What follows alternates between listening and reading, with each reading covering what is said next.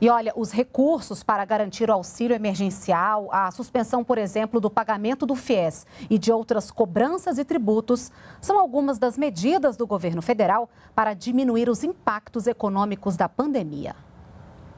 A pandemia do novo coronavírus vai entrar para a história não só pelos efeitos na saúde da população mundial, mas também pelos efeitos que ela causou na economia. No Brasil, milhões perderam o emprego e tiveram redução na renda.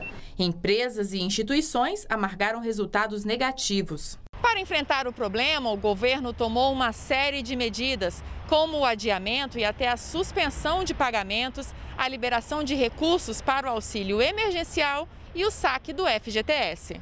Trata-se de uma medida universal dentro do FGTS que permite o atendimento de, até, de cada um dos 60 milhões de brasileiros que têm conta junto ao fundo. O governo suspendeu ainda o pagamento do Fundo de Financiamento Estudantil até o fim do ano e o Imposto sobre Operações Financeiras, o IOF, para empréstimos pelo prazo de 180 dias. Suspensões de pagamentos também foram decretadas pela Procuradoria-Geral da Fazenda Nacional. Uma das primeiras medidas que adotamos foi a suspensão de atos de cobrança.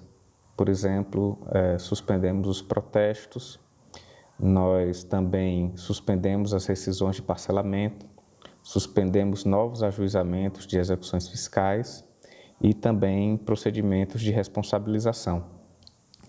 É, isso é, implicou a suspensão de cobrança de débitos no valor de aproximadamente 200 bilhões de reais. Para empresas e instituições, também houve suspensão de tributos e concessão de créditos. Conseguimos, com essas medidas, manter aquecido o canal de crédito por todo o sistema financeiro ao longo desse período, independentemente de porte e segmento. As novas concessões de crédito para as empresas superaram em mais de 20% o mesmo volume do ano anterior.